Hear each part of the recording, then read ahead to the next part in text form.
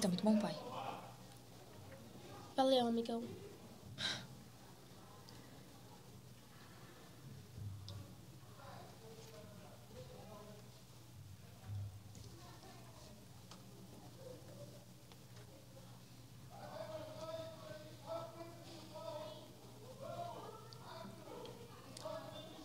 Você também, mãe. O quê? Você tá pensando em alguma coisa? Você tá pensando em alguma coisa? Que parece que. Você quer falar alguma coisa. Peter, Como que? Por que eu queria falar alguma coisa? Pra você me desprezar? Desprezar? Eu nunca desprezei você. Ah, querido, nem precisa. Já passou sua mensagem.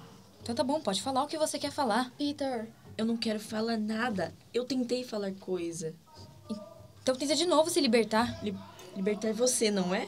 É, tá bom, me liberta. Só fala, só fala essa merda. Não fala palavrão pra mim, seu merda. Nunca mais levanta a voz pra mim. Eu sou sua mãe, ok?